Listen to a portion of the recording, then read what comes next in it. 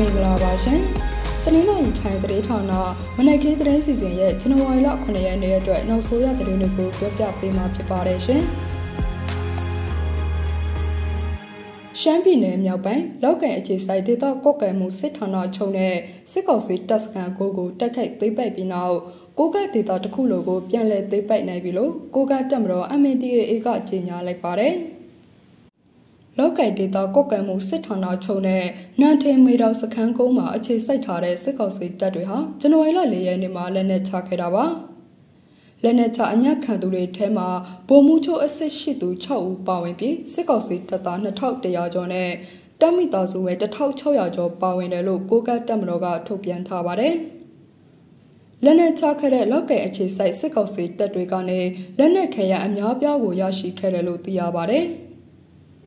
ကိုကတက်မတော်အနေနဲ့ကိုကဒေတာတစ်ခုလိုကိုပြန်လဲသိပ်ပိုက်နေတာဟာကိုကဒေတာတာမကမြန်မာတနိုင်ငံလုံးမှာရှိတဲ့အဖိနှိတ်ခံတိုင်းရင်းသားလူမျိုးစုအားလုံးရဲ့အောင်မြင်မှုလည်းဖြစ်တယ်လို့ MNDAA ကထုတ်ပြန်ထားပါတယ်။တရေချောင်းမြို့နယ်ဒဝံမြစ်ကားလမ်းပေါ်ကအုတ်တူတတာစစ်ကောင်စီစစ်စေရေးဂိတ်ကိုပြည်သူ့ကာကွယ်ရေးတပ်ဖွဲ့တွေပူးပေါင်းတိုက်ခိုက်ခဲ့ပေမဲ့စခန်းမသေးယူနိုင်ခဲ့ဘူးလို့ရဲဘော်တွေကပြောပါတယ်။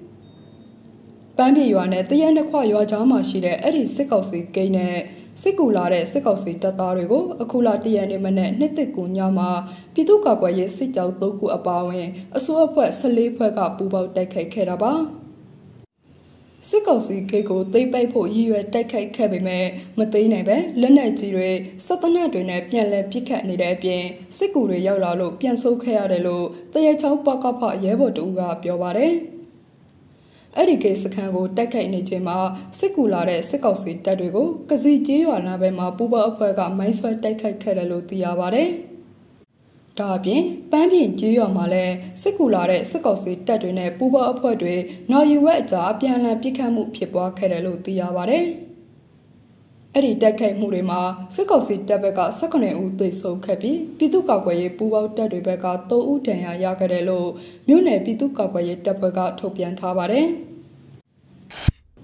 လုံးလုံးမျိုးနယ်ကိုစစ်ကြောင်းထိုးနေတဲ့စစ်ကောင်စီတပ်တွေဟာကြီးရော်တွေကနေတွေကိုဆက်တိုက်မီးရှို့နေတယ်လို့ဒေသခံတွေကပြောပါတယ်။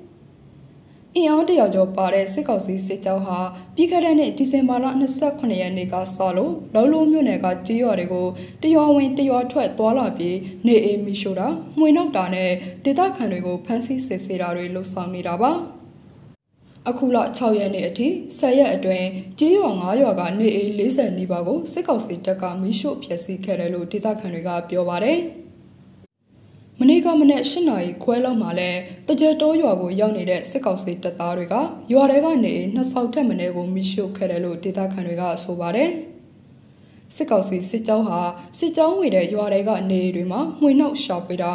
အဖိုးတန်ပစ္စည်းနဲ့ရွှေငွေယူဆောက်တာတွေပြုလုပ်ခဲ့တယ်လို့လက်တလျှောက်ရွာတွေမှာလည်းဒေသခံအမျိုးသားတွေကိုဖမ်းဆီးခေါ်ဆောင်သွားတယ်လို့သိရပါဗျ။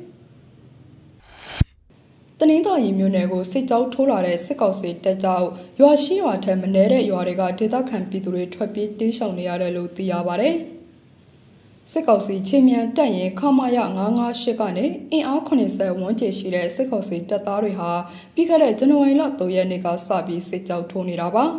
။မနေ့ကအထိမြောက်ပင်ကွင်းရွာပြို့အံရွာကျွဲထေကုရွာဗမာအင်းတော်ရွာမြေမအိုရွာ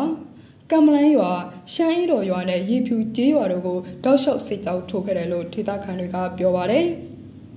စစ်ကောင်စီတပ်သားတွေစစ်ကြောင်းထိုးချိန်မှာရွာသားတွေကိုလူသားတဲ့အနေနဲ့ဖမ်းဆီးလေးရှိပြီးဆဲဆိုရိုက်နေတာတွေလွတ်ဆော်လေးရှိတဲ့အတွက်စစ်ကောင်စီတပ်ကစစ်ကြောင်းထိုးနေတဲ့ရွာတွေမှာနေထိုင်တဲ့ရွာသားတွေထွက်ပြေးတေးရှောင်နေကြတာဖြစ်ပါတယ်။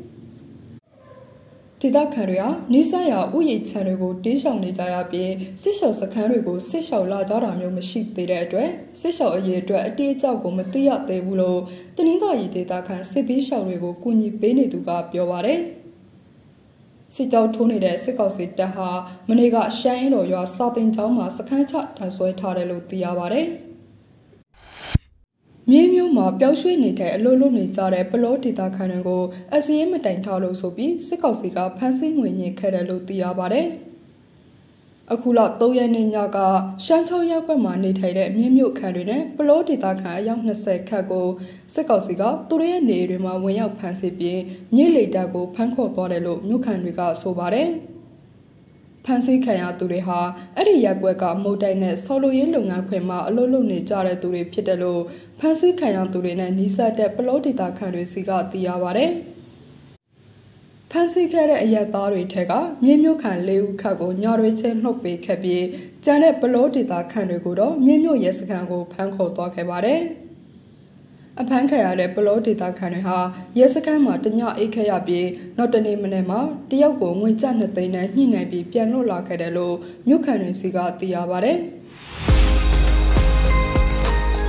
တနေ့တော့ time တရေထောင်းလာရဲ့မနက်ခင်းတရေစီစဉ်ကိုနားဆင်ပေးခဲ့တဲ့အတွက်ကျေးဇူးတင်ပါတယ်ရှင်။